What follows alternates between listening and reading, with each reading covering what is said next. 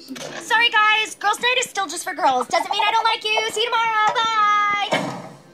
Hey, man, we tried. Boop. What do you want to do now? Dude, the night's still young. How about we have a boy sleepover? This is what you get for kicking me, chop face. I want to be a girl.